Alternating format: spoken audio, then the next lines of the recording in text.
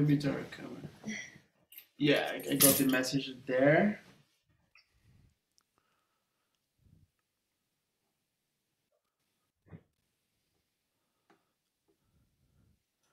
Yeah, I can see the. I can see even yeah. Turn off my camera. I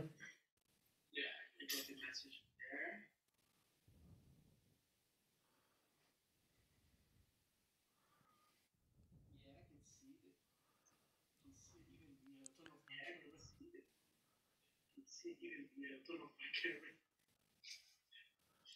Is there? I need to pin my screen. Isn't that right? Yeah, or spotlight for everyone if you have the option. Can you do you want me make make me host so I Oh, can yeah. do that for you? Yeah.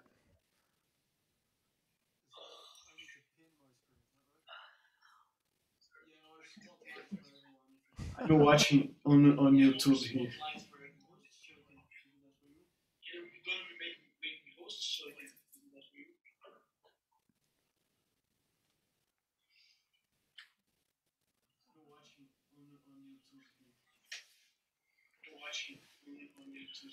Brian's here. I'll let him. him. Okay. Cool.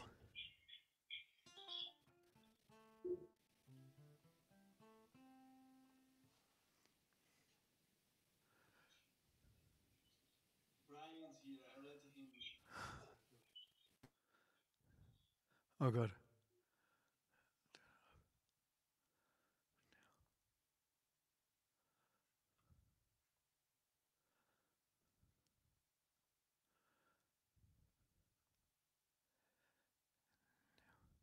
Hey, Brian.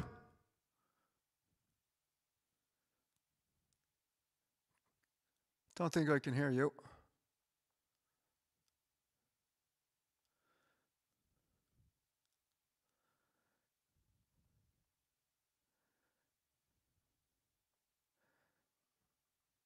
Cool. Right, so hello, everybody who may or may not be watching. This is going to be the first of uh, many. I'm going to be doing this once a week, every Friday. Um, some of you will have seen my Facebook post. The point is, I'm going to play some Irish songs, but accompanying that, I'll give some background to the songs, and you'll learn a bit about Irish culture and uh, Irish history, and you know maybe some way why it is that the Irish are the way we are. Um, I'm going to be speaking slowly because it is obviously Irish people are more than welcome, but it's more for a European audience. So I'm going to try and speak clearly and slowly so that people can understand me. Uh, so each month I'm going to do a new show, and um, so each Friday for for four consecutive Fridays I will be doing the same thing, and then in the new month I will be doing a new uh, presentation. And this month is the month of May, uh, so there's two themes I'll likely be focusing on.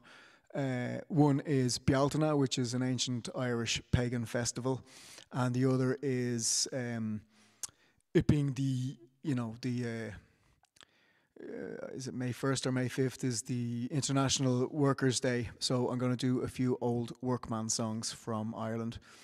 Uh, so I hope you enjoy them, and I'm going to start with a popular classic um, from Ireland. And here we go. Whack fall my daddy o, whack fall my daddy o, there's whiskey in the jar. As I was going over the far famed Kerry Mountains, I met with Captain Farrell and his money he was counting. I first produced my pistol and then produced my rapier. Said, Stand and deliver, for you are a bold deceiver. Maturing, dummy doo, dummy da. Whack fall, my daddy o, whack fall, my daddy o, there's whiskey in the jar. I counted out his money and it made a pretty penny. I put it in my pocket and I brought it home to Jenny. She sighed and she swore that she never would deceive me. But the devil take the women for they never can be easy. Musharing dummy doo dummy da. Whack fall my daddy o, whack fall my daddy o, there's whiskey in the jar. I went up to my chamber, all for to have a slumber. I dreamed of golden jewels, and sure it was no wonder. But Jenny took me charges, and she filled them up with water. Then sent for Captain Farrell to be ready for the slaughter. My sharing, da doo da da. Whack fall, me daddy o. Whack fall, me daddy o. There's whiskey in the jar. 'Twas early in the morning, just as I rose to travel. Up came a band of footmen, and likewise Captain Farrell. I first produced my pistol, for she'd stolen away me rapier. I couldn't shoot for water, so a prisoner I was taken. My sharing, doo da. Whack fall, me daddy o. Whack fall, me daddy o. There's whiskey in the jar. Now some take delight in the carriages a rolling, and some take delight in the hurling and the bowling. Me, I take delight in the juice of the barley, and courting pretty fair maids in the morning, bright and early. My sharing, dum doo dum. Whack fall, my daddy o. Whack fall, my daddy o. There's whiskey in the jar. If anyone can aid me, it's my brother in the army. If I can find his station in Cork or in Killarney, and if he comes with me, we'll go rambling in Kilkenny. And I'm sure he'll treat me better than my own unsporting Jenny. My sharing, namadoo, damada. Whack fall, my daddy o. Whack fall, my daddy o. There's whiskey in the jar. My sharing, damadoo, damada. Whack fall, my daddy o. Whack fall, my daddy o. There's whiskey in the jar. My sharing, damadoo, damada. Whack fall, my daddy o. Whack fall, my daddy o. There's whiskey in the jar.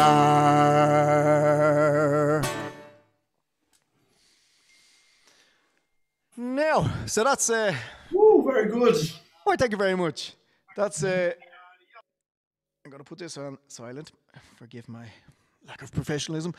Um, yeah, that's an old song. Um, it's called Whiskey in the Jar.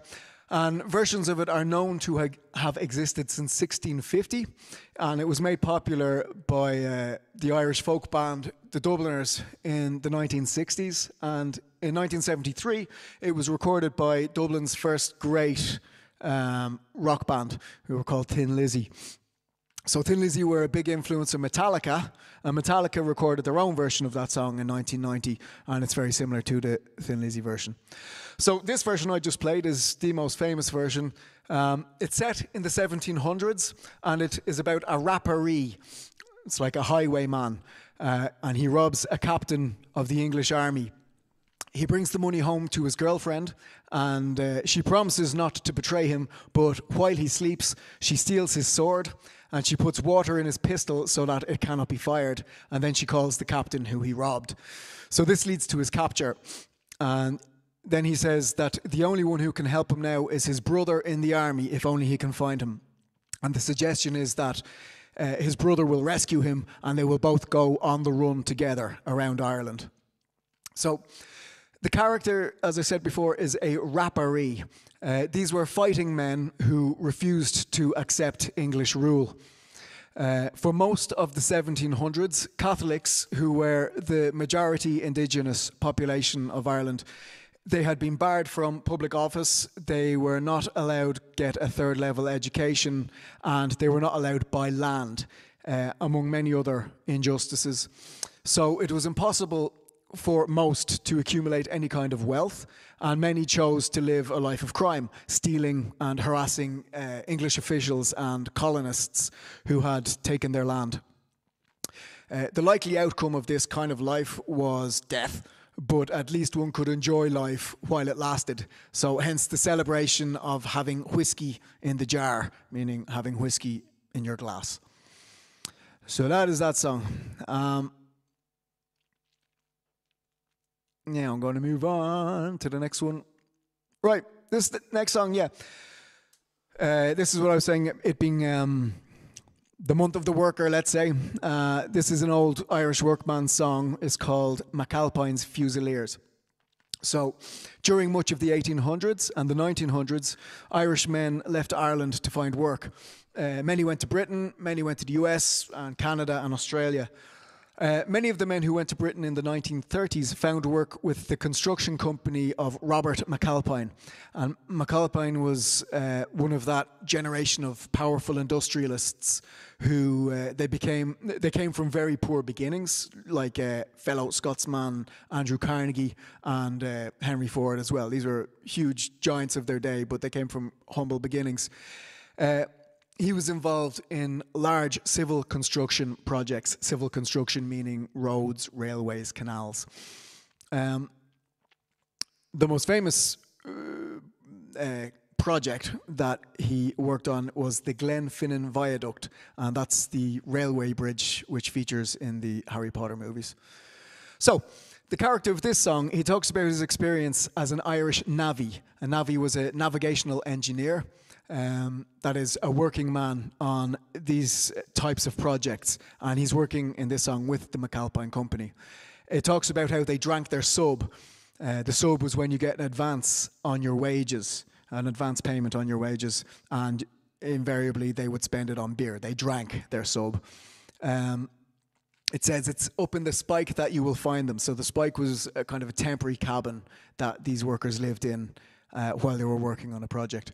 And it talks about working with Russians and Czechs and Poles who had left the Eastern Bloc on hydroelectric dams and in the tunnels underneath the Thames River in London. Uh, and it talks about if uh, rain stopped you from working, you would not be paid, and taking a tea break was absolutely forbidden. Uh, he describes how a co worker falls and is killed, and how the foreman's only concern is that he does not have enough men to do the work. So the song is satirical, it's almost comical, and uh, there are conflicting accounts of how good or bad working conditions with the, the uh, with the McAlpine company actually were. So this is McAlpine's Fusiliers.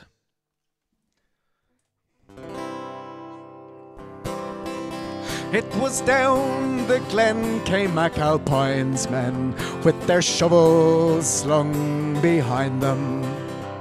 It's in the sub that they drank their sub, and it's up in the spike you will find them. Well, they sweated blood and they washed down mud with pints and quarts of beer. And now we're on the road again with McAlpine's Fusiliers.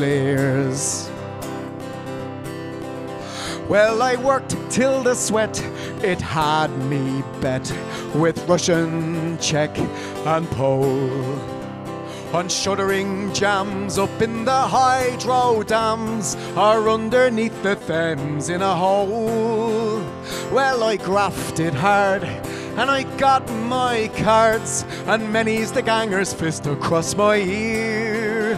When the going gets rough, well, you must be tough with McAlpine's Fusiliers. I stripped to the skin with the darky Flynn down in the Isle of Grain. With a horse face Toole, sure you knew the rule no money if you stop for rain. When McAlpine's God was a well filled hod, your shoulders cut to bits and seared. And woe to he who went to look for tea with McAlpine's Fusiliers.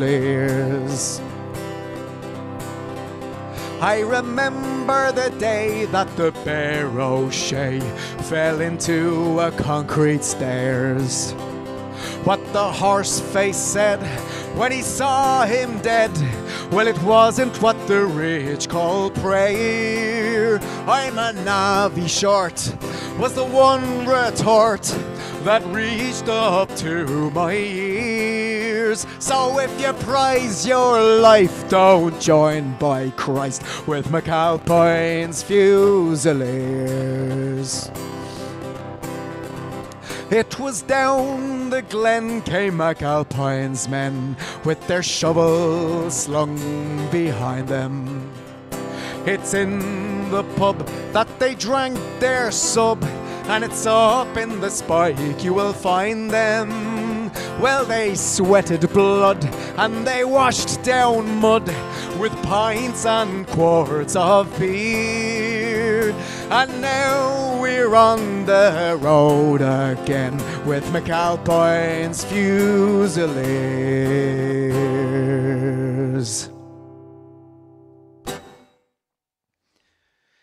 Now, Woohoo! why, thank you. Very good. I was I was laying down, so I came running to get. No harm. Okay, good. Um, so I hope you've enjoyed that, and I'm going to move on to the next tune. All right, this is a another workman song. Uh, it's called the sick note. So a sick note is when you're telling your boss that you can't come to work and you have to write a note. Uh, in the days before telephones, I guess. So. Uh, yeah, it was the habit of Irish men, and it still sometimes is, to drink too much beer at the weekend, and so they would be unfit for work on a Monday. And so many would offer up exaggerated excuses to explain their absence. So this is a it's a comical song, um, and it's describing an accident at work and why the singer is not at work today. So, in order for you to understand the story, I'm going to tell you. Uh, no, that's forget that. So, the character in this song is told by his boss to bring a load of bricks down from the 14th floor. He's on the building site, and so the man hoists, he pulls up a barrel on a pulley wheel, and he places all the bricks. He places all the bricks in the barrel. But when he unties the rope, everything goes wrong. So this is a very um, you know, outlandish story, a, a, an unbelievable story to explain why he's not at work today. And it's called The Sick Note.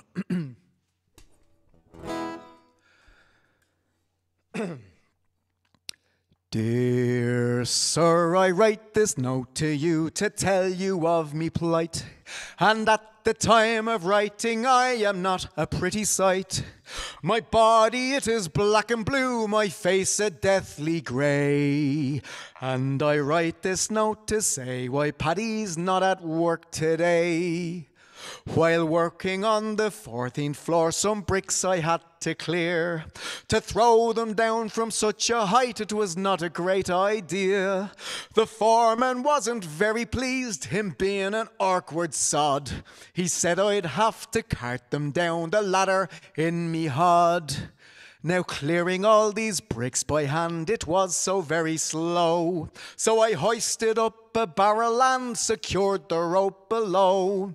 But in my haste to do the job, I was too blind to see that a barrel full of building bricks was heavier than me. And so when I untied the rope, the barrel fell like lead. And clinging tightly to the rope, I started up instead. I shot up like a rocket when, to my dismay, I found that halfway up I met the bleeding barrel coming down. Well, the barrel broke me shoulder as toward the ground it sped. And when I reached the top, I banged the pulley with me head as I clung on in numbed shock from this almighty blow. Well, the barrel spilled out half the bricks, 14 floors below. Now, when these bricks had fallen from the barrel to the floor, I then outweighed the barrel and so started down once more. Still clinging tightly to the rope, I sped toward the ground and I landed on the broken bricks that were scattered all around. Now, as I lay there groaning well, I thought I'd passed the worst. When the barrel hit the pulley wheel and then the bottom burst. A shower of bricks rained down on me. I hadn't got a hope. As I lay there groaning on the ground, I let go of the bloody rope. The barrel now being heavier, it started down once more and landed right across me as I laid upon the floor. Well, it broke three ribs and my left arm, and I can only say. But I hope you'll understand why Paddy's not at work today.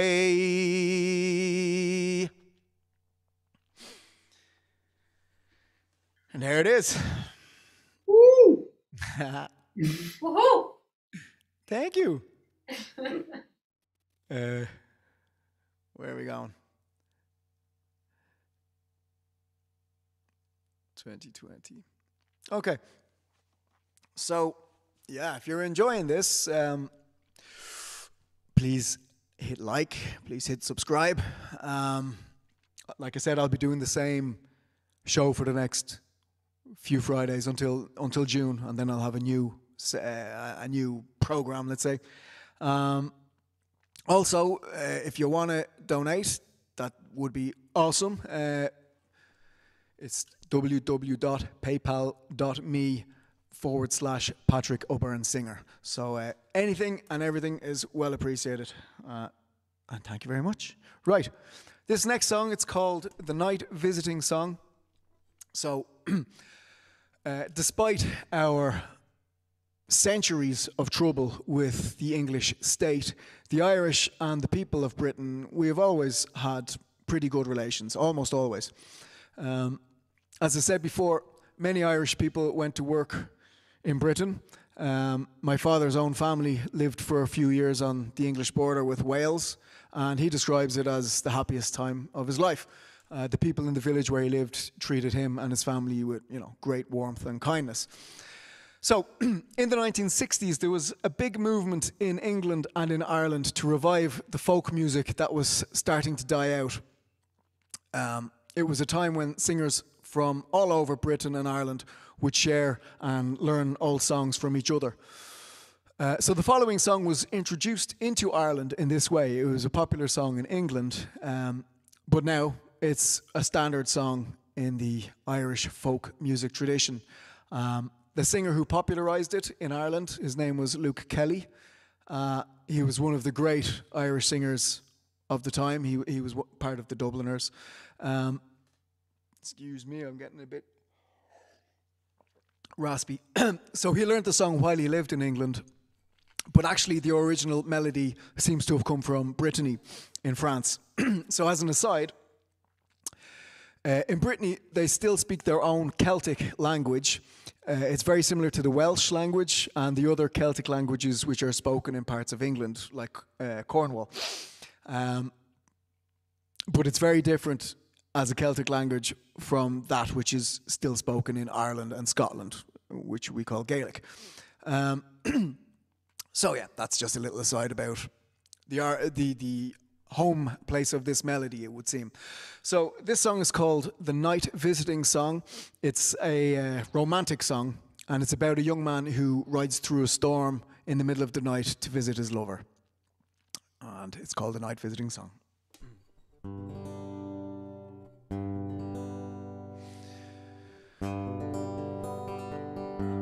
I must away now. I can no longer tarry. This morning's tempest I have to cross. I must be guided without a stumble into the arms I love the most. And when he came to his true love's dwelling, he knelt down gently upon a stone, and through her window he's whispered lowly, Is my true lover within at home? Wake up, wake up, love. It is thine own true lover. Wake up, wake up, love, and let me in. For I am tired, love, and oh so weary, and more than near, drenched to the skin.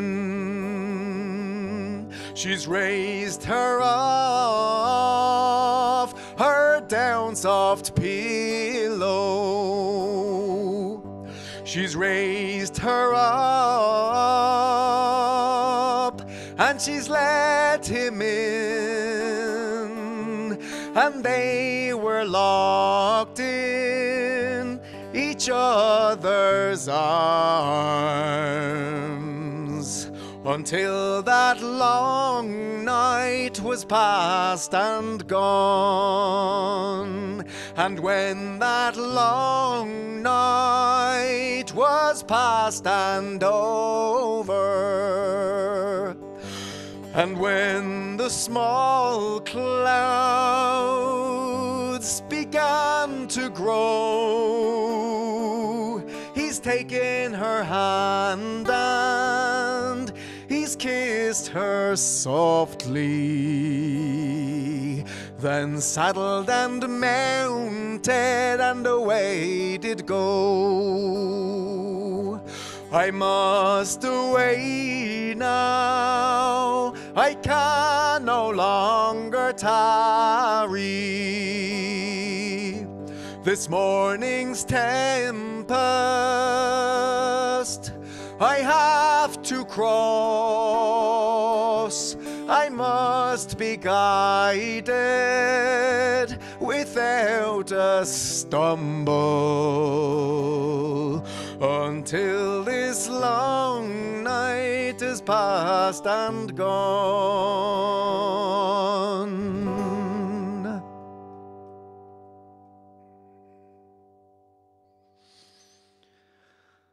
Hi. Beautiful. Thank you. That's uh, yeah, definitely one of my favorite Luke Kelly tunes. And uh, if Brian is still on the call or if he's watching on YouTube, I know uh, Joanna loves that song, so uh, I hope she heard it. We Okay. few watches on YouTube. Huh? We have six watchers on, on Ah. Hello, everyone on YouTube. Um, right. This song is. Uh, well, I'll, I'll explain the background first. Uh, Bealtaine. This today, uh, 30th of April, it's the eve of Bealtaine. Tomorrow is Bealtaine. It's a, an ancient uh, pagan festival. There were four major pagan festivals in Ireland, like uh, most of the world. Um, and tomorrow is the beginning of Bealtaine. Yeah, also, sorry, the month of May in the Irish language is also Bealtaine. Um, so it's an ancient spring festival and it's celebrated in Ireland and Scotland even today. Um, the Gaelic word for the month of May is Bealtaine, which I already said. I'm just reading off my notes here. Um, and since Christian times, at least, it has been celebrated on the 1st of May. Uh, in ancient times, a large fire was lit on the hill of Uisneach in Meath, in Westmeath, which is almost in the centre of Ireland. And from this fire, cinders were brought to nearby communities. Uh, so cinders being um, like red hot coals from a fire, which you can then use to start another fire. So they were brought to nearby communities, and they all lit their own bonfires. And the night before Beltane, everybody would put out the fire in their hearth, in their fireplace in their home. And then from these bonfires, they would take cinders and rekindle the fire. They would have a new fire uh, in their home. And then from these communities, cinders were brought out to further communities. And eventually, the whole of Ireland was um, all the hearths, all the fireplaces for warmth and for cooking were all lit from the same source um, which was on the hill of Uisneach. Now, how true that is, I'm not sure, but it's a, it's a very nice idea. Um, and I think if it's true, it would have been one of the many rituals that um, the ancient Irish would have used to bind the country together because there was no state, um, there was no Irish state, but they had uh, law in common and uh, various other um, rituals and, say, spiritual practices. So that's the background to uh, Bealtaine. Yeah, sorry, it, it was a festival celebrating light, and it was probably held originally on the full moon after the spring equinox, uh, celebrating the triumph of light over dark and day over night, uh, just like Easter. And, uh, you know, possibly yeah, the, the dating, the timing of it was probably the same as Easter or somewhat similar originally, and then they eventually moved it out to May so that there wouldn't be a clash between a pagan festival and the Christian festival. Uh, so Bealtaine, it probably means the fire. Tine is fire, so Bealtaine is the fire of Bel, uh, and Bel may be related to Baal and Ishtar, uh, which were Middle Eastern versions of uh, Venus. Um, so it's uh, and it's likely that the, the goddess Breege in Irish mythology was associated with Venus. And in this next song, the poet actually explicitly makes that connection that Breege and Venus are the same uh, entity. Um, so, this next song is an old Gaelic song. It was published first in 1847, and it was described. At, it was described at that time as um, an already very popular folk song, um, and it's actually quite uh, similar to an older version which was known in the 16th century. So it may it may date back as far as the 16th century. Hard to tell. Uh, the song is called An Fáinne Geal an Lae, uh, which translates to uh, the bright ring of morning. Um, many people will know this melody. If you're into Irish music, you, you will know this melody. Um, but this is the something maybe the original. It's certainly the oldest existing version. Um, so it's it's an aisling. An aisling was a it's a song or a poem about a spiritual or a, a mystical vision, and on the surface, uh, the song seems to be about a beautiful uh, beautiful woman, but the symbolism in it suggests that it is describing something else. So in the song, the poet goes out walking early in the morning while it is still dark. He is rejoicing because it's summer and, uh, well, summer is coming and the leaves are returning to the trees. Uh, and then he meets a beautiful young woman. and she is not wearing any clothes, and her hair flows down to her feet and onto the grass. And she's carrying a pail, which is a bucket, a pail.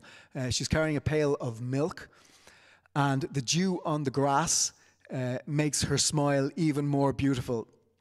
So he, desc- he describes her as, as a Venus. So at this point, it is clear that he's actually describing events in the sky. So Venus, sometimes, depending on its orbit, uh, it arrives over the horizon before the sun, which is why it's sometimes called the morning star. At other times, it's the evening star. Um, so her hair that is flowing down to the grass is in fact the light shining from Venus. And the pail of milk may be a reference to the Milky Way, although the goddess Breege was also associated with cows, so he could be making that kind of connection. Uh, the dew on the grass captures the light from Venus, uh, which is why he says it makes her more beautiful. Um, so, yeah, it appears that the bright ring of morning, that's the title of the song, is in fact the planet Venus, the morning star, and it does move in a ring around the sun. so, as you listen to this song, uh, remember that the feeling the uh, poet is expressing is that he is awestruck at the beauty of the sky at night just before dawn. Um, yeah, so this song is called Fáinne Geal an Lae. And sorry, yeah, it's in Gaelic, so you're not going to understand it. It most Irish people won't understand it either.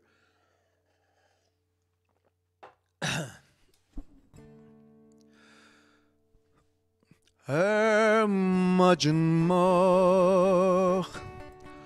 do gosamach er bruach of lachan lein. On saurig chacht is kravlenash is lanrach che on Er hastel dan tri vailche puert Is bonta min rei. Ke jon len mash Och an Julian jas Le fonia gialon le. Nirev stocha kaip na cloak Er ma story no go'n spare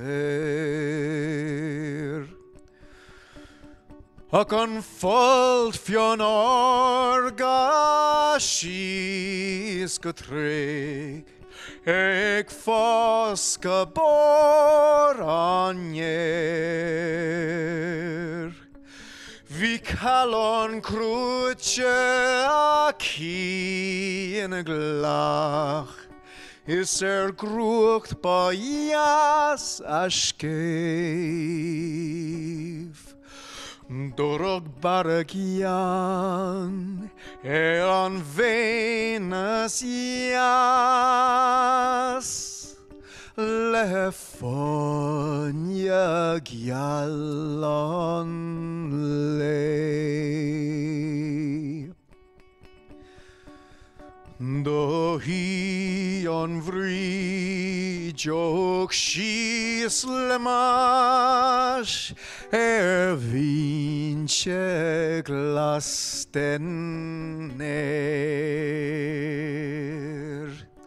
glasten Eg maglevi sta miv gepras Maar we nu na skarhen le.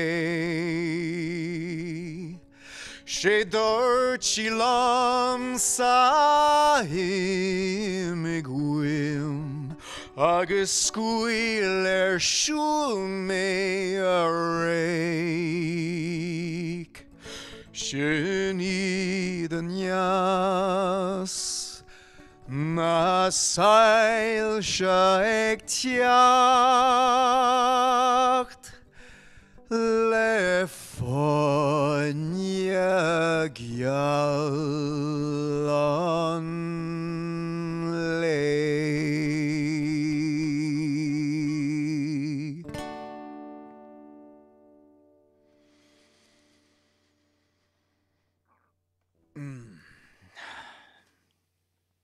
I Yeah. the, the guitar is a bit. Uh, I don't know if you disconnected or you were playing very low. Very No, I was playing it low. Ah, okay, Yeah, thanks. no problem. Sounds amazing. Sounds sounds good that way. Thank you. Right. This is uh, going quicker than expected, which is no bad thing. Okay. This song is. Uh, it was written in the 1970s, and it's about an old man who has lived through the modernization of Dublin, and he feels lost and he feels out of place in his own town. Um, the story of his life reflects the changes that Dublin has gone through. He remembers Dublin in the rare old times. Uh, that's an old expression meaning when Dublin was a fun place. So that was when there was, you know, a culture of singing and storytelling. Excuse me. Um, his trade was as a cooper, that's a barrel maker. So maybe he worked for uh, Guinnesses or maybe he worked for the whiskey distilleries, many of which went out of business uh, during Prohibition, so during the 20s and into the uh, 30s, I think, definitely in the 20s. Uh, so he lost his job when wooden barrels were replaced with modern uh, metal barrels. Uh, the house he was born in, it was destroyed and it was uh, replaced with modern housing. And he had a girlfriend who left him for a student from England. Uh, it's quite a uh, unusual lyric, let's say. So I have adapted it. Um, less said, the better. So he he now he has nothing more to live for but alcohol, uh, and he knows that it's destroying his mind, but he doesn't really have anything else. Um, all the landmarks he was familiar with in Dublin, they're all gone, and one of them was uh, Nelson's Pillar. Um, so this was a, a, huge statue in the main street of Dublin, and it was celebrating the victory of Horatio Nelson over. Uh, well, the French, whoever it was, uh, during the Battle of Trafalgar. And even though Ireland had become an independent country for quite a while, the statue was still there. And in, IRA, in 1966, the IRA, who were not quite the same as the IRA, who actually they might very well be, but this was before the atrocities, um, they blew it up. They blew up this statue, and uh, many people find that amusing to this day. So in the last verse, he says goodbye to Anna Livia. Anna Livia is uh, the name of the river flowing through Dublin. It's in Irish, it's An Life, so oftentimes it's referred to as Anna Livia. Uh, so he says goodbye to Anna Livia. He, uh, he no longer belongs. He doesn't belong in his own town because he is a part of what was Dublin in the rare old times. So that's what the song is called, the rare old times. And I will do it for you now.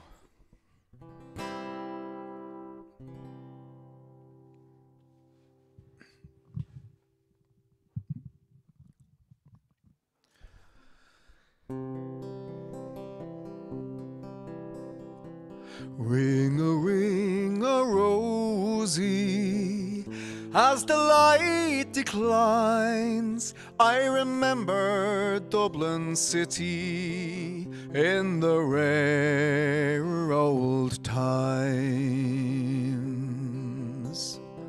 Raised on songs and stories, heroes of renown passing tales and glories that once was Dublin town. The hallowed halls and houses, the haunting children's rhymes. I remember Dublin city in the rare old times. My name it is Sean Dempsey, as Dublin as can be. Born hard and late in Pimlico, in a house that ceased to be. By trade I was a cooper, lost out to redundancy. Like my house that fell to progress, my trade's a memory. And I courted Peggy Dignam, as pretty as you please, a arrogant child of Mary from the rebel liberties.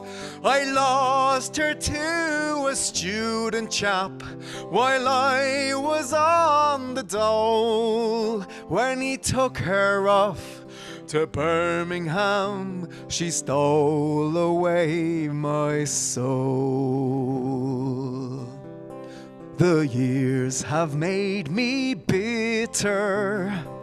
The gargle dims my brains as Dublin keeps on changing and nothing stays the same.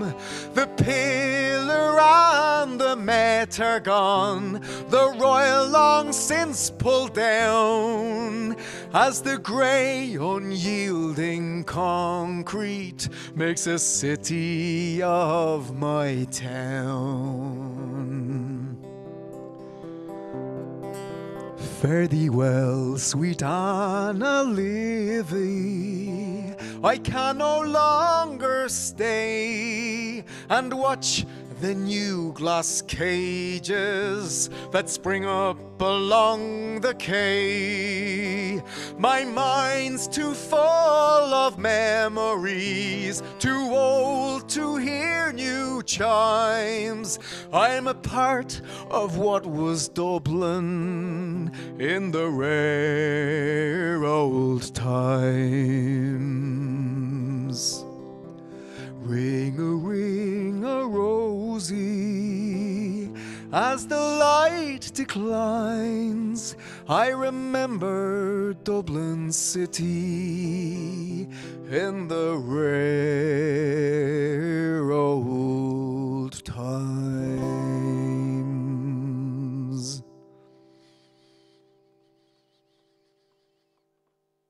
Mm.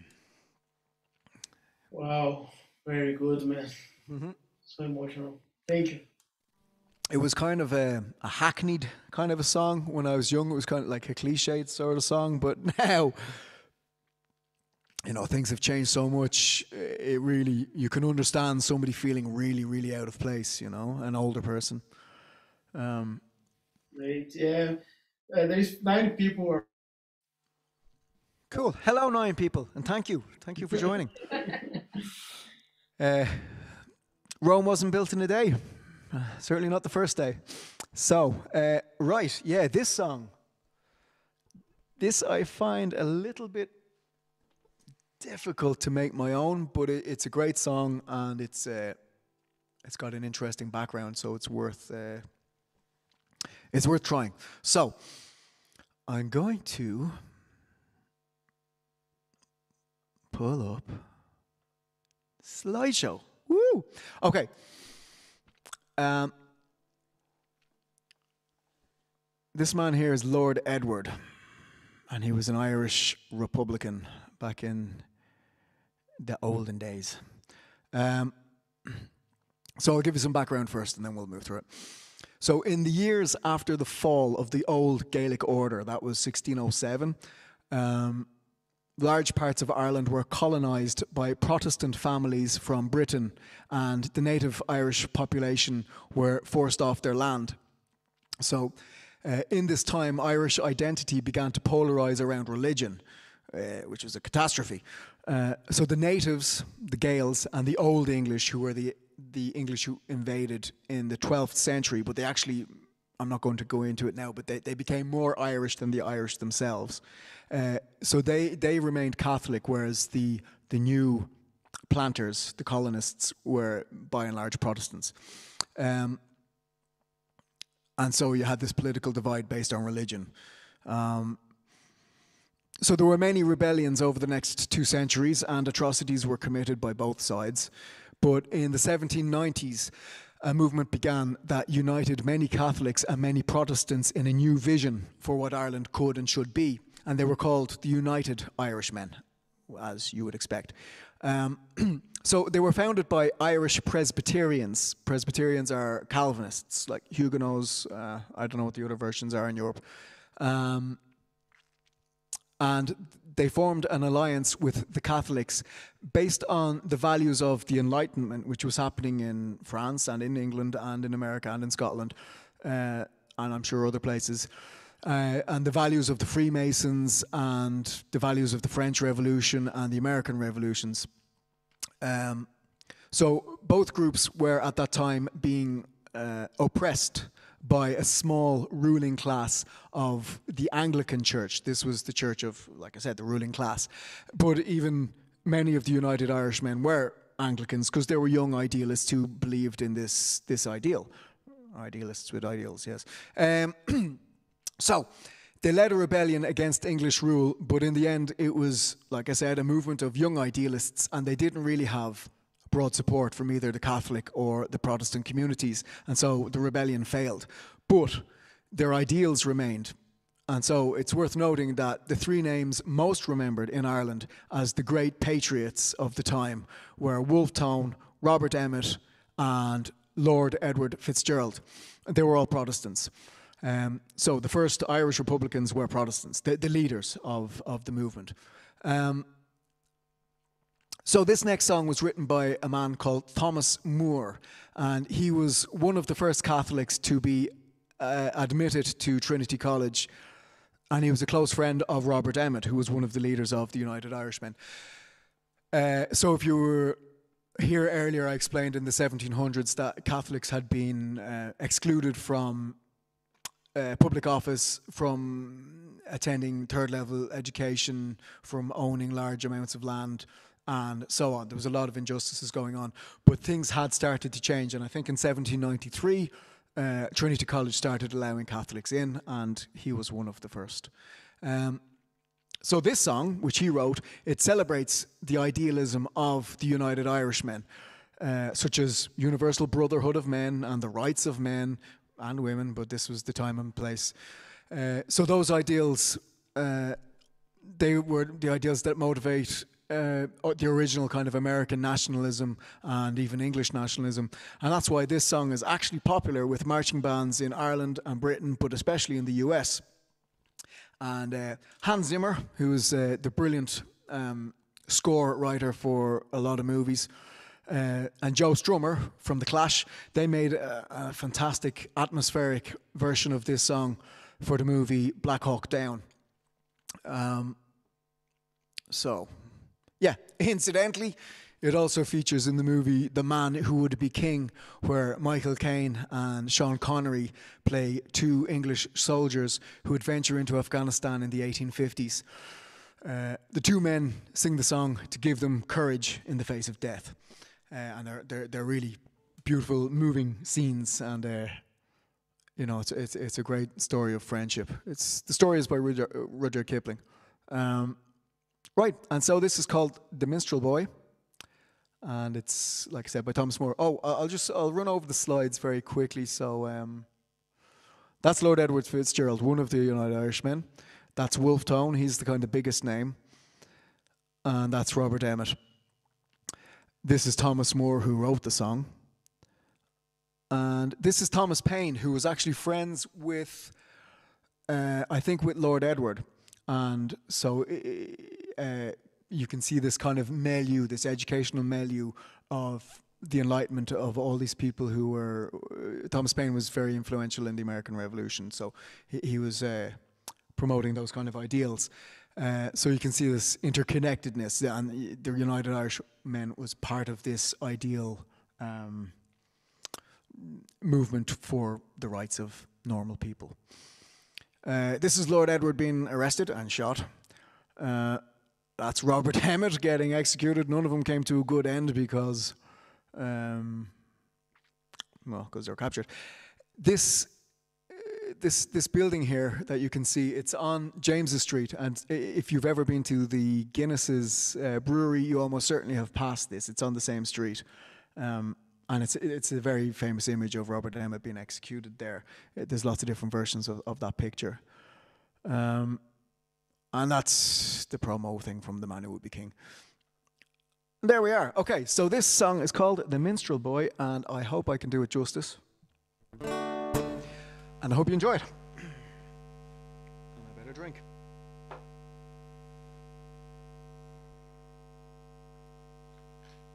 Bud, check the cable. Oh no, it's good now. What is it? The cable makes some noise, the guitar.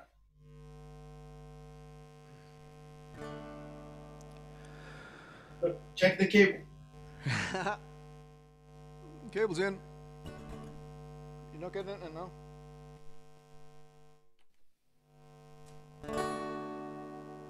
Get some noise. There's a noise. Yeah. Is it off putting? Yeah.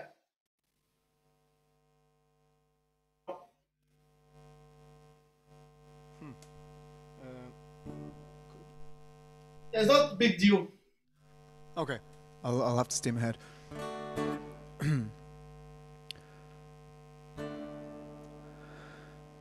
The minstrel boy to the war is gone in the ranks of death, you will find him.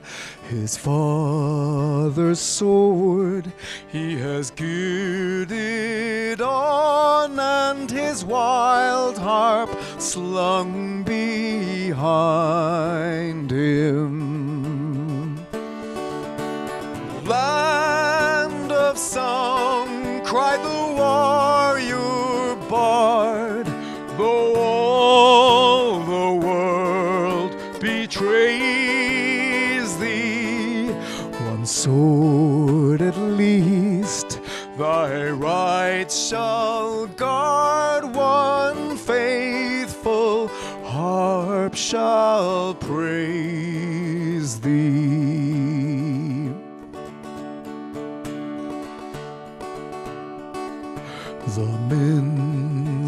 Fell, but the foeman's chain could not bring that proud soul under.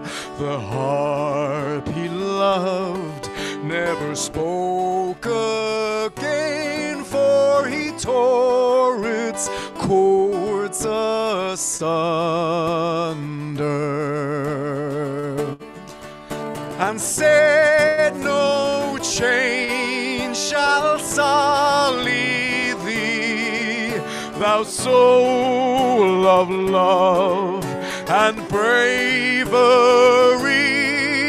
Thy songs were made for the pure and free. They will never sound in slavery.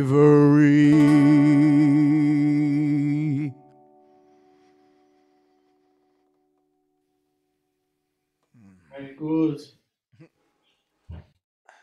Thank you. Right. I got to get some more water into me. So, what is next? Yeah, if you're enjoying this uh, and you weren't here at the beginning, uh, I'm going to be doing this every Friday. Uh, every month there'll be a new theme, so this will be the same for the next three or four weeks, however many Fridays are in May. In June there'll be a new show. Um, so if you're enjoying it, please like, subscribe. Um, they always say hit the notification bell. I don't know what that means, but go for it. Um, and if you want to donate, uh, it would be much appreciated. Um, I haven't got any convenient way set up yet, um, but it's. Uh, let me run up here. It, you can go to PayPal. www.paypal.me forward slash Patrick O'Byrne Singer. So if you want to make a donation, I will be very, very much obliged. Um, no obligation, no worries. I'm quite happy to do this anyway. Uh, right.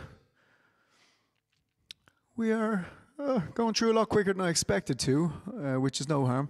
Um, this song. This song is uh, it's actually it's based on an actual historical incident during the Irish War for Independence in 1919. It's a funny song, and it's about a group of rebel soldiers who need to get to a town. The town is 18 miles away, and it would take them half a day to walk there. So they make a plan to get a car. Uh, so they call up the local doctor, asking him to attend to a patient, and uh, then they set up an ambush on the road and they steal his car.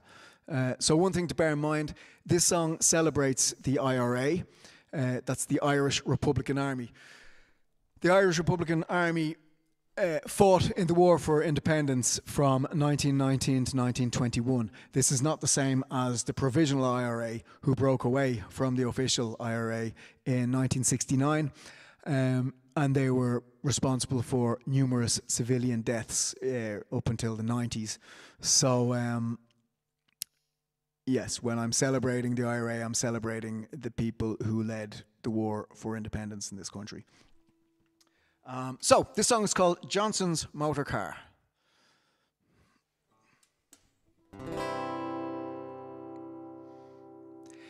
It was, I have to make sure I'm in the right key.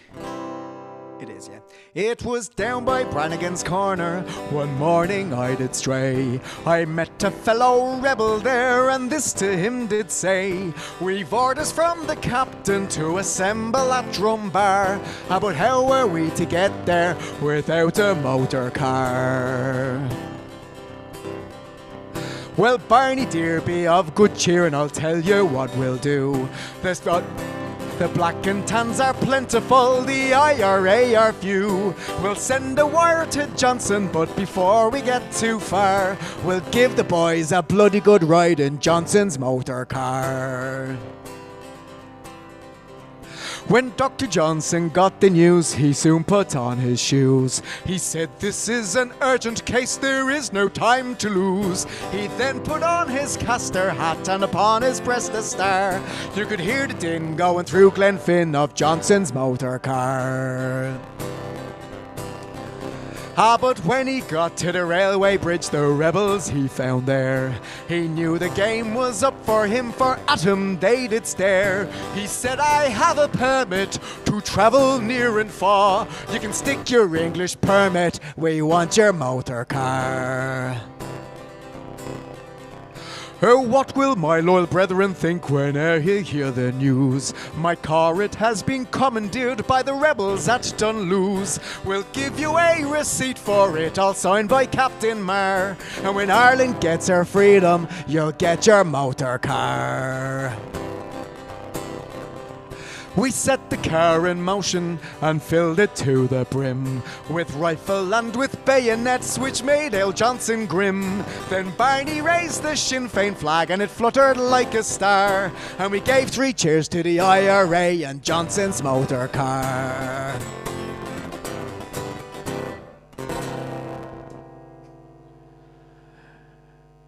As everyone knows, seventh chords, a staple of Irish music. Now, um, where are we at? Yeah, I might as well. I'm going to do this song. Um, Can you see the chat? can I see the chat? I have stuff blocking the chat.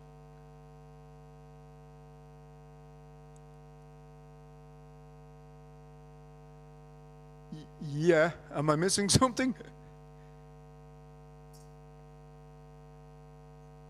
Ah. Right. Oh, is that right? Uh, well, I better wrap up quickly then.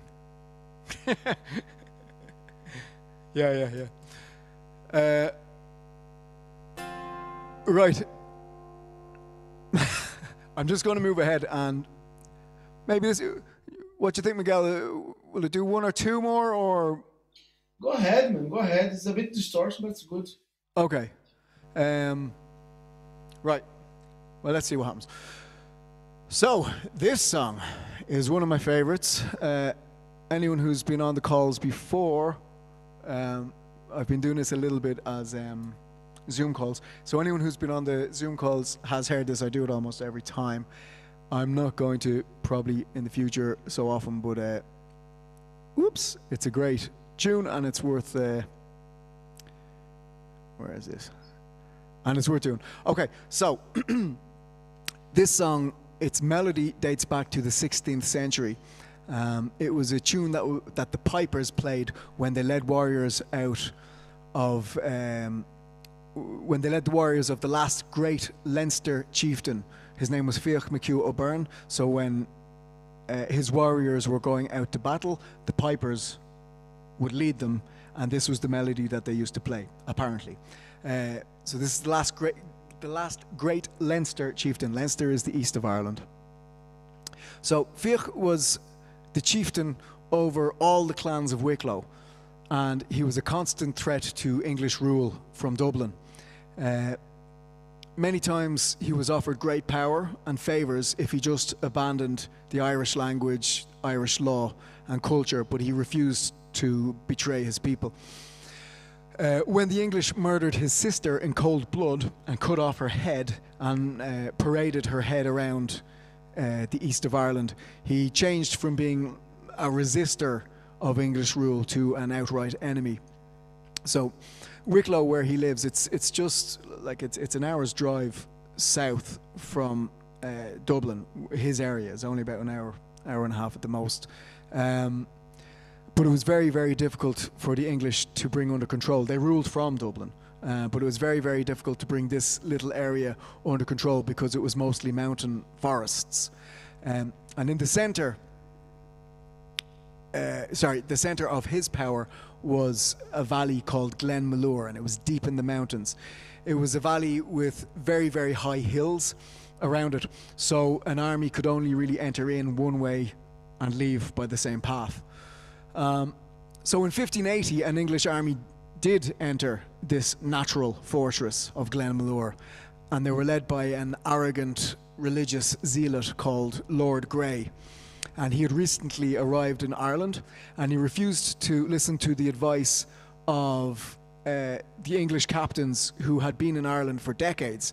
Uh, so he sent in an army, and only about half of that army made it out alive.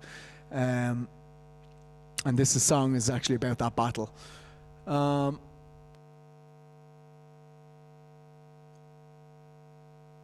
no, not more to say on that. So, I'll just show the slides quickly. You can see there, um, that's the piper at the front, leading out the uh, the warriors to to battle. Um, this is from um, John Derrick. He, he he was an English propagandist. So a lot any images that these wood carvings they're from him. They're part of English propaganda. Um, well, enough said. This is part of Glenmalure. It's just to show it's a really, really beautiful scenic part of Ireland, and only, like I said, an hour's drive from Dublin. That's Glenmalure still. Uh, Glendalough is the next valley across.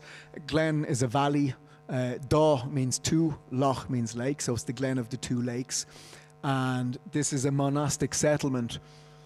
Um, it was founded, people say, around 500 AD. Um, and because it's in the middle of nowhere, really, it, it has stood, you know, the, the vicissitudes of time. It has lasted because there's, it, it's not really worth going to in terms of plunder. Um, so it survived a very long time, uh, even the Viking invasions. So this is Glenmalure you can see the really high walls, uh, walls, the really high hills of the valley, and they would have been forested at the time. So it would have been, like I said, extremely difficult to enter except through the mouth of the valley, which made it very easily defended. Um, which is why they were able to stay in control of that area in defiance of the English for so long. Um, this is just you know, it's, it's I think that, that is actually Glenmalure as well. It's really beautiful scenic part of Ireland, all of Wicklow. That's Glendalough from another view. Uh, that's just a broader picture. You can see the um, the piper leading the warriors out, and then you can see these Gaels. They're burning the houses of the, the planters of the colonists and stealing all their livestock. You can see up in the background they're they're bringing all the cows and horses back into the woods. The Irish were called the Wild Irish because they lived in the, the, the wild, the veldt, the forests. Uh, Glendalough. Uh, yeah, the English had a penchant for chopping off heads. Uh, when warriors went out, the amount of heads they brought back to Dublin Castle would uh, they would be rewarded for it. Um, the point was to kill warriors, but very often it was abused. Um, you can see there as well, there's, there's a bard. The guy in the background on the right hand side, he's a bard. Bards are always depicted like that in, um, in the artwork. They're quite flamboyant. Um, so they, that's just showing him being arrested. The, the bards were not liked at all by the English. They hated them because they offered, um, you know, cultural support to the old Irish ways, and they wanted the Irish to abandon their culture and to take on English culture. Uh, and so this this one here, you can see in the foreground there, there's a man holding a woman's head. That woman is, uh, what was her name? Mairead. Mairead uh, O'Moore. She married a guy called Rory Og O'Moore. Uh, that was Fiach McHugh's sister. And when the English killed her more or less in cold blood. Um, that's when things really kicked off in the 1500s. Uh, Fiach McHugh went into outright rebellion. Um, so that's that.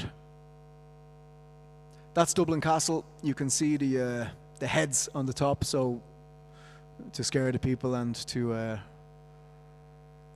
just to show who who's been captured. This is the Lord Deputy, who's the King's man in uh, Ireland, riding out to do battle. Usually, most of these propaganda uh, cuttings, wood cuttings, were to do with uh, the campaigns in Wicklow and Leinster, but but not all of them. All right, so that's that. So this song is "Follow Me Up to Carlow." Um, whoops. And I hope you like it.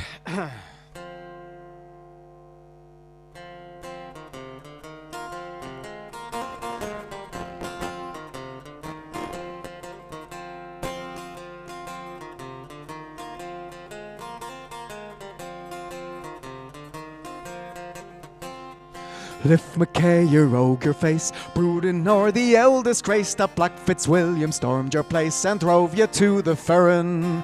Grace said victory was sure, soon the firebrand he'd secure until he met a Glenmalure with Fiach McHugh O'Byrne. Curse and swear, Lord Kildare, Fiach will do it, Fiach will dare. Now Fitzwilliam, have a care, fallen is your star low. Up with halbert, out with sword, on we'll go for by the Lord. Fiach McHugh has given the word, follow me up to Carlow.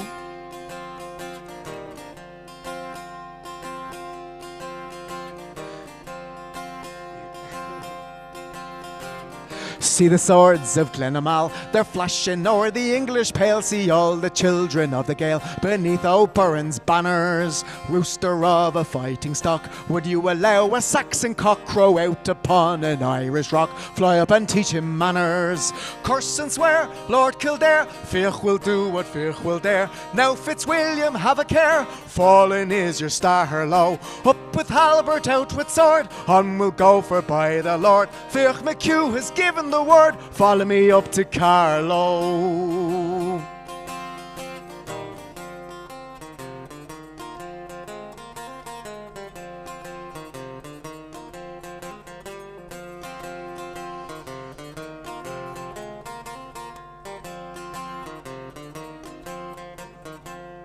From Tassagart to Clonmore there flows a stream of Saxon gore, and great is Rory Og O'Moore at sending the Lewins to Hades. White is sick, grey is fled, and now for Black Fitzwilliam's head we'll send it over, dripping red to Queen Liza and her ladies. Curse and swear, Lord Kildare, Fiach will do what Fiach will dare. Now Fitzwilliam, have a care, fallen is your star low. Up with halbert, out with sword, on we'll go for by the Lord. Fiach McHugh has given the word, follow me up to Carlow. Curse and swear, Lord Kildare, Fiach will do what Fiach will dare. Now Fitzwilliam, have a care, fallen is your star low. Up with halbert, out with sword, on we'll go for by the Lord. Fiach McHugh has given the word, follow me up to Carlow.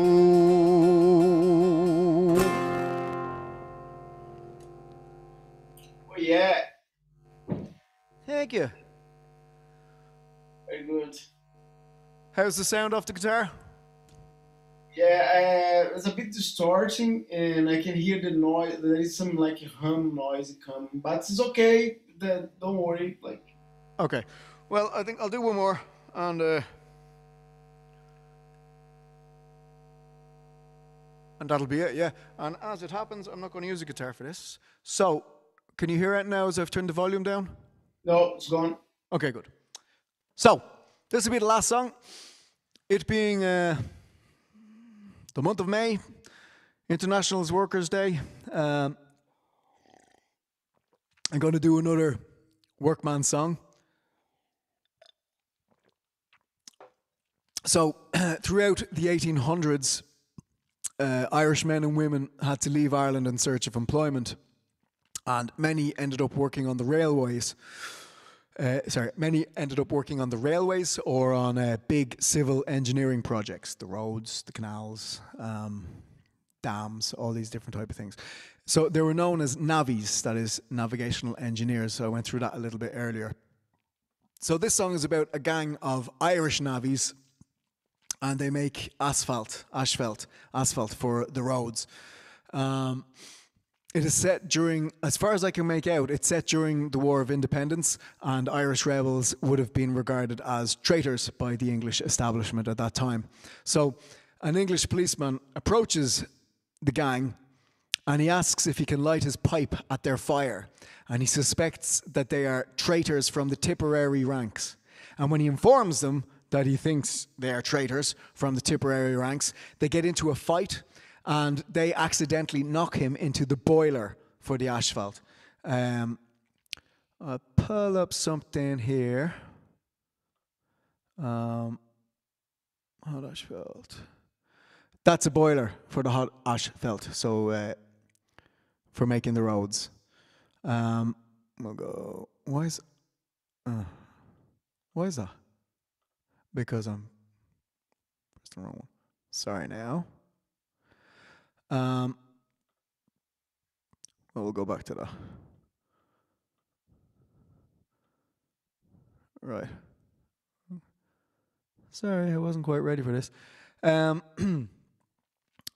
here are the men again. This is a different type of boiler, so that's a that's a, a kind of a, a, scenario you can imagine, um, where they knocked the man in by accident into the boiler, uh, and this is them working, making the roads. So they pull him out and they try to clean off the tar. That's the sticky black stuff in the uh, bitumen in, in the uh, in the asphalt. In the asphalt, uh, but in the end, they realise that the man can't be saved. So they put him back in the boiler till he melts, uh, and then they stir him into the asphalt. So uh, unfortunate for the policeman, but he gets his justice because uh, the effort of the whole business um, it causes the navvy who is singing the song, he catches his death of cold. He gets a cold and it kills him. Uh, and his body was sold to the Kelvingrove Museum as a monument to the Irish making hot asphalt. So uh, that's a thing there. That's the Kelvingrove Museum. I think it's in Glasgow. It's in Glasgow or Edinburgh. It's a really, really stunning piece of architecture. Um, and that's the inside. So uh, my understanding is it's a kind of it's a place that has uh, curiosities. It has all sorts of wonderful scientific curiosities. Um, that's Luke Kelly. He's the man from whom you know I got the song listening to him his version. Uh, it's the only version I've ever heard. Um, he was a singer in the Dubliners, and he, he was just fantastic, just an amazing presence as a singer. Um, so that's what the guys are saying. He died and he got a cold. He got a cold and he died. And he was sold to this Kelvingrove Museum as a monument to the Irish making hot asphalt. So the idea is that the Irish making asphalt are, uh, are a curiosity as much as uh, elephants and sarcophagi from pharaohs in Egypt and so on. Okay, so this is my last song. I really hope you've enjoyed it. Um, Sorry, there was, a, some little stops and starts, but uh, it's the first night, and hopefully I'll get better as we go along. Uh, I'm going to do this same show for the next four weeks, depending uh, until June. When June begins, I'll be doing a new show, um, a whole new set of songs. So if you like this show, come back. Uh, if you like what I do, like the video. You won't be able to do that now, as far as I know, because it's live. Uh, but subscribe to my channel so that you uh, know when the next videos are coming. Um, and if you want to make a donation, that'd be fantastic. I don't have a convenient way set up for that just yet. Uh, if you want to go to www.paypal.me forward slash Patrick O'Byrne Singer, all one word. Um, if you want to make a donation, that'd be awesome. Uh, no obligation. I, I appreciate everything. I, I, yeah. Uh, it's just easy. Like in, in PayPal, you can go just go and put at Patrick O'Byrne Singer, and they can find you. In the okay. App. So right. in PayPal, at Patrick O'Byrne Singer. Okay. You guys heard it there. So, again, thank you for tuning in, taking time out of your evening for this. I hope it was worthwhile. And um, Miguel, thank you so much for your help. Always appreciated. Um, You are very welcome. Yeah. And yeah, enjoy the song. And uh, if you don't come back this month, please do come back next month. And there'll be a whole new set of songs and uh, interesting little backgrounds and so on. All right. So, this is the Hot Asphalt.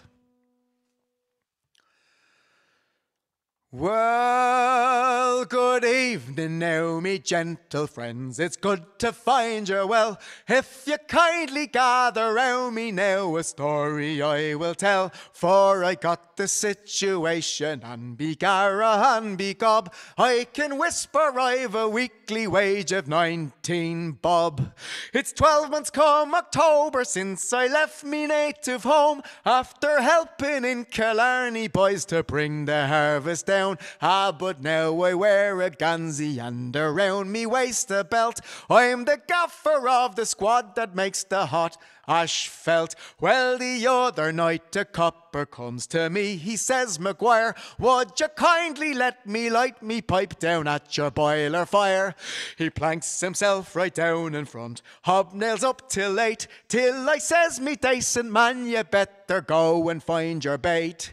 He ups and yells, I'm down on you, I'm up on all your pranks. Don't I know you for a traitor from the Tipperary ranks? Well, I hit him from the shoulder and I fetched him such a belt that I knocked him into the boiler full of hot ash felt. Well, we laid it in the hollow and we laid it in the flat, and if it doesn't last forever, sure, I swear I'll eat me hat. Well, I rambled up and down the world, and sure I never felt any surface that was equal to the hot ash felt. We quickly pulled him out again and threw him in the tub, and with soap and warm water we began to rub and scrub. But the devil, the thing, it hardened and it turned him hard as stone, and with every other rub, sure you could hear the copper groan. I'm thinking, says O'Reilly, that he's looking like old Nick, and burn me if I'm not inclined to claim him with me pick. Now, says I, it would be easier to boil him till he melts, and to stir him nice and easy in the hot ash felt. Well, we laid it in the hollow and we laid it in the flat, and if it doesn't last forever, sure I swear I'll eat me hat. Well, I rambled up and down the world, and sure I never felt any surface that was equal to the hot ash felt. You may talk about your sailor lads, ballad singers, and the rest, your shoemakers and your tailors, but the ladies love us best. The only ones who knows the way their flinty hearts to melt. Are the boys around the boiler making hot ash felt. Well, with rubbing and with scrubbing, sure I caught me death of cold, and for scientific purposes, my body it was sold in the Kelvingrove Museum. Me boys, I'm hanging by me pelt as a monument to the Irish making hot ash felt. Well, we laid it in the hollow and we laid it in the flat, and if it doesn't last forever, sure I swear I'll eat me hat. Well, I rambled up and down the world, and sure I never felt any surface that was equal to the hot ash felt.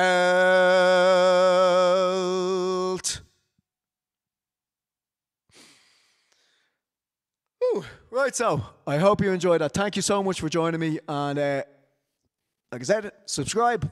Hopefully, see you next week or at least this time next month when I'll be doing a whole new set of songs. All right.